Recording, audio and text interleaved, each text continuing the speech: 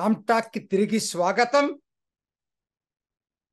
భారత్ అంటే గర్వపడాలి గాని ఉలిక్కి పట్టమేంటో నాకైతే అర్థం కావట్లేదు. భారత్ అనేది ఓ మతవాదం కాదు. అది మనందరి వాదం. భారత్ అనగానే వేల సంవత్సరాల నాగరికత అందరం గర్వపడే సాంస్కృతిక వారసత్వం మనకి ఉప్పొంగుతూ ఉంటుంది అటువంటిది ఇవాళ అసలు ఆ భారత్ అనే పేరుకింత వివాదం ఎందుకు? నాకేం అర్థం కావట్లేదు అసలు. ఎందుకనంటే ఒక్కనాడు నా చిన్నప్పుడు ఎవరో కొంతమంది హిందూ రాష్ట్రం అని పిలిచినందుకు భారత్ని కౌంటర్గా విదే వ్యక్తులు నో హిందూ రాష్ట్రం కాదు మాది భారత్ అనేవాళ్ళు. ఇవాళ భారత్ అని పిలుస్తుంటే నో మాది భారత్ కాదు ఇండియా. ఏంటండి గులామీ మనస్తత్వం? ఈ నెగటివిజం ఏంటో నాకైతే అర్థం కాదు ఇప్పటికి కూడా. అసలు నిజం చెప్పాలంటే హిందూ అనేది కూడా ఒక మతానికి సంబంధించింది కాదు. బ్రిటిష్ వాళ్ళు రాకముందు మనల్ని పాలించినటువంటి ముస్లిం పాలకులు ఇతర దేశాల అరబ్బుల దగ్గర నుంచి అందరూ భారతదేశాన్ని హిందుస్థాన్గానే పిలిచారు. హిందూ అనేది ఒక ప్రాంతానికి సంబంధించింది. సరే అది పోయింది. బ్రిటిష్ వాళ్ళు వచ్చిన తర్వాత దీన్ని వాళ్ళు ఇండియా అని పిలవటం మొదలుపెట్టారు. నేను ఆ చరిత్రలోకి వెళ్ళట్లా. కొంతమంది దానికి కూడా ఆర్గ్యుమెంట్ డెవలప్ చేస్తున్నారు. గ్రీకులు దీన్ని ఇండస్ అన్నారు లేకపోతే పర్షియన్ దీంట్లో నుంచి హిందూ ఇండి ఇవన్నీ కూడా ఆర్గ్యుమెంట్స్ నేను దాంట్లోకి వెళ్ళట్లా. బ్రిటిష్ వాళ్ళు వచ్చిన తర్వాతనే ఇండియా అనే పేరు పాపులర్ అయింది. ఇక్కడే కాదు ప్రపంచం మొత్తం మీద కూడా. అమెరికాలో నేటివ్ ఇండియన్స్ గుర్తుపెట్టుకోండి అమెరికాలో నేను ఇక్కడ చెప్తుంది ఇక్కడ ఇక్కడ ఉన్న ట్రైబ్స్ని నేటివ్ ట్రైబ్స్ని ఇండియన్స్ అంటారు. ఇక్కడ కన్ఫ్యూజ్ అవుతారు. ఇండియన్ అనగానే మన ఇండియన్స్ అనుకోరు ఇక్కడ ఇండియన్స్ అనుకుంటారు.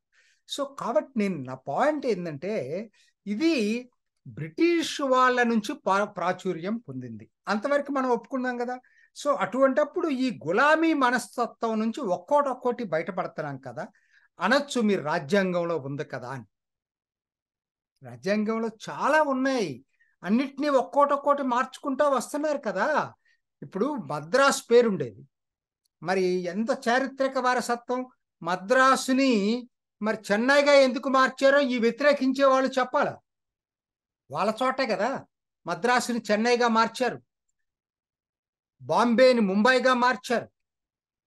కొలకటాని కలకటాని కొలకటాగా మార్చారు. అట్లనే మన దగ్గర రాజమండ్రిని రాజమహేంద్రవరంగా మార్చారు. ఇంకా వ్యతిరేకించే వాళ్ళు చెప్తారు రాజ త్రివేంద్రం త్రివేంద్రాన్ని వాళ్ళే తిరువనంతపురంగా మార్చుకున్నారు. బెదవాడను విజయవాడగా మార్చారు. సరే ఇవన్నీ వివాదం కానప్పుడు ఇదెందుకు వివాదం అవుతుందో నాకైతే అర్థం కావట్లా. కాకపోతే ఈ చర్చ ఈనాటిది కాదు. వీటన్నిటిని వీళ్ళు కొత్తగా మార్చారు. పాత పేర్లు తీర్చి కొత్తవి పెట్టారు. కానీ రాజ్యాంగ సభలో భారత్గా పేరుండాలా దేశానికి ఇండియాగా పేరుండాలని దాని మీద తీవ్రమైనటువంటి చర్చ జరిగింది. తీవ్రమైన చర్చ జరిగింది. జరిగి రాజీ మార్గంగా ఇండియా దట్ ఈజ్ భారత్గా పెట్టారు. రాజీ మార్గంగా. కానీ హిందీ వర్షన్కి వెళ్ళేటప్పటికి original test Hindi test. Hindi వర్షన్లోకి వచ్చేటప్పటికి అది భారత్ దట్ ఈజ్ ఇండియా. కాబట్టి ఇది ఏదో ఇవాళ కొత్తగా భారత్ అనేది రాజ్యాంగంలో చొప్పించలా.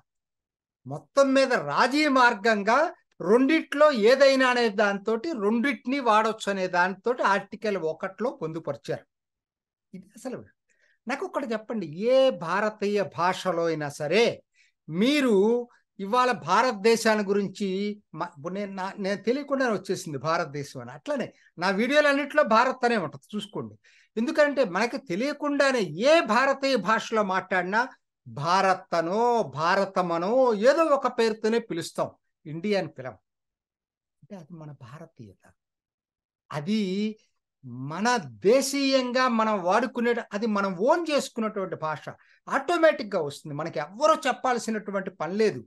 మన వారసత్వం ఉందండి అందుట్లో. మన నాగరికత ఉందండి. మనందరికీ గర్వం ఉందండి దాంట్లో. ఇక్కడ దాకా ఎందుకండి? విమర్శించే కాంగ్రెస్ వాళ్ళ నాయకుడు దేశవ్యాప్త పాదయాత్రకి ఏం పేరు పెట్టుకున్నాడండి? భారత్ జోడో యాత్రని ఎందుకు పెట్టుకున్నాడు? ఇండియా జోడో యాత్రని ఎందుకు పెట్టుకోలేదు? అంటే ఆయన భారత్ జోడో యాత్ర పెట్టుకుంటే డిఎంకేకి ఓకే.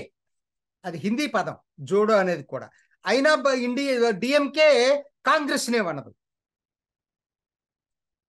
అసలు మన జాతీయ గీతంలోనే ఉందండి భారత భాగ్య విధాత. ఎక్కడండి అసలు వీళ్ళకి అసలు? అది పేరు వినంగానే మనకి గర్వపడాలా? ఏకగ్రవ్యంగా యునానిమస్గా ఇన్నాళ్ళకైనా సరే డెబ్బై ఐదు సంవత్సరాల గులామీ మనస్తత్వం నుంచి బయటపడుతున్నామనేటువంటి సంతోషం ప్రతి ఒక్కరిలో ఉండాలండి. ఏంటి వివాదం? నాకైతే అర్థం కాదు. ఎందుకంటే మనమే కాదండి. ఇటీవల టర్కీ రీసెంట్ ఎడిషన్ ఏదంటే టర్కీ. ఇవాళ మనందరం టర్కీ అనేది మరి ప్రపంచం మొత్తం అదే పేరుంది. కానీ వాళ్ళు మార్చుకున్నారు. సాంస్కృతిక వారసత్వం పేరుతోటి దాన్ని తుర్కియే కింద మార్చారు. ఎక్కడ దాకా ఎందుకంటే మన సరిహద్దుల్లో బర్మా? నా చిన్నప్పుడు బాగా గుర్తు బర్మా పేరు. రంగూన్ అనే క్యాపిటల్ పేరు. ఇవాళ రంగూను పేరు లేదు. యాంగాన్ అయింది. దేశం పేరు బర్మా బదులు మైన్మార్ అయింది. ఇట్లా చెప్పాల్సి వస్తే చాలా ఉన్నాయి. నా పాయింట్ ఏంటంటే అసలు ఇంకా వాళ్ళేంది? అసలు వివాదం లేదు. వాళ్ళు ఏంటంటే పాత పేరు తీసి కొత్త పేరు పెట్టుకున్నారు. మనం ఏంటి మనకి ఆ వివాదం కూడా లేదు అసలు రెండింటినీ రాజ్యాంగంలో పెట్టారు. కాకపోతే దౌర్భాగ్యం ఏంటంటే ఒక దేశానికి రెండు పేర్లు ఏంటండి? ఎక్కడైనా ఉందా? నాకు తెలిసి ఏ దేశానికి లేదేమో. ఒకటే పేరు ఉంటుంది ఏ దేశానికైనా సరే. మరి మనకి రెండు పేర్లు ఎందుకున్నాయి రాజీ రాజీ రాజీ. ఆ రోజు ఈ దేశీయ భావంతో ఉన్న వాళ్ళలో ఎక్కువ మంది కాదు భారత్ పెట్టాలి మనం ఈ బానిస మనస్తత్వం నుంచి బయటపడాలా ఆంగ్లేయులు ఎవరు? మన దేశానికి ఇండియా అని పేరు పెట్టడానికి అనేటువంటి భావనతోటి భారత్ పెట్టాలని చెప్పి రాజ్యాంగ సభ చర్చలోను వస్తే దాన్ని కాదనలేక అదే టైంలో ఈ ఎలైట్ పీపుల్ అందరూ కూడా ఇండియాని వదులుకోలేక ఈ కలోనియల్ మైండ్ సెట్ని రాజీ మార్గంగా ఇండియా దట్ ఈజ్ భారత్ అన్నారు. కాబట్టి మనకు ఆ వివాదం కూడా లేదు. పాత పేరు తీసి కొత్త పేరు పెట్టట్లేదు. ఈ రెండు పేర్లు కూడా ఇప్పటికే రాజ్యాంగ సభ రాజ్యాంగ సభ పెద్దలు నిర్ణయించుకొని రాజ్యాంగ నిర్మాతలు నిర్ణయించారు. ఇప్పుడు కావాల్సిందల్లా ఏంటంటే ఆ రోజు ఏంటి? ఈ భారత్ అంటే చాలా మందికి తెలియదని ఒక కారణం చెప్పి దాన్ని రెండు పేర్లు పెట్టినా ఇవాళ డెబ్బై ఐదు సంవత్సరాల తర్వాత మనం ఏం పిలిస్తే ఇవాళ భారత్ అనే దానికి ఒక ఉనికి గర్వక గర్వకారణమైనటువంటి ఉనికి ఇవాళ ప్రపంచంలో ఉంది. మనం భారత్ అని పిలిస్తే మనకెట్లా ఉప్పొంగుతుందో ప్రపంచ అధినేతలు ఆటోమేటిక్గా పేరుతో పిలుస్తారు. పెద్ద కష్టం కాదు. నా దృష్టిలో ఏంటంటే డెబ్బై ఐదు సంవత్సరాల డెబ్బై ఐదు సంవత్సరాలు కాదు కరెక్ట్గా చెప్పాలంటే పంతొమ్మిది వందల ఐదులో స్వదేశీ ఉద్యమం ఏదైతే మొదలైందో ఆ స్వదేశీ ఉద్యమానికి ముగింపుగా ఈరోజు మనం ఇండియా అనే దాన్ని పూర్తిగా తీసేసి భారత్ అనేది పెట్టుకోగలిగిన రోజు ఈ బానిస మనస్తత్వాన్ని గులామీ మనస్తత్వం నుంచి బయటపడిన వాళ్ళం అవుతాం. ముందు ఆ కలోలియల్ మైండ్ సెట్ నుంచి మనం బయటకు రావాలి. చాలా అవసరం ఇదంతా కూడా. ఎందుకనంటే ఈ అమృత కాల్ ఎందుకంటే ఈ డెబ్బై ఐదు సంవత్సరాలు నిండిన కాడి నుంచి వంద సంవత్సరాల లోపల అమృత కాలంటే దీనికి ఇచ్చే బహుమతి ఇంకేం లేదండి. ముందు మన మానసిక స్థితిని మార్చుకోవాలి. మన వారసత్వాన్ని మనం తెచ్చిపెట్టుకుందాం. మన నాగరికతను మనం గుర్తేసుకుందాం. అందుకోసం అని చెప్పి ఇప్పటికైనా ఇండియాని మార్చేసి భారత్గా పెట్టుకుందాం. ఇప్పటి వరకు వీళ్ళందరూ చెప్పినట్టుగా ప్రెసిడెంట్ ఆఫ్ భారత్ అంటే రాజ్యాంగ వ్యతిరేకం కాదు రాజ్యాంగంలో రెండు పేర్లు ఉన్నాయి కాకపోతే నా వ్యక్తిగత అభిప్రాయం అయితే అసలు ఉండటానికి లేదు. భారత్గానే మనం ఈ ఈ అమృత కాల్లో ఒక దృఢ నిర్ణయం తీసుకోవాలా? దేశాన్ని ఇక నుంచి భారత్ అనే పిలవాల్సినటువంటి అవసరం ఎంతైనా ఉంది. భారత్గా పిలుద్దాం భారతీయులుగా గర్వపడతాం. ఇది నాటి రామ్టా ఇంకొక ఎపిసోడ్లో మళ్ళీ కలుసుకుందాం. నమస్తే. చూసారు కదండి. మరి ఈ వీడియో కనుక మీకు నచ్చినట్లయితే ఒక లైక్ కొట్టేసి మీ అభిప్రాయాన్ని కూడా కామెంట్ బాక్స్లో తెలియజేస్తూ ఇలాంటి ఇంట్రెస్టింగ్ అప్డేట్స్ కోసం మా ఛానల్ని సబ్స్క్రైబ్ చేసుకోండి.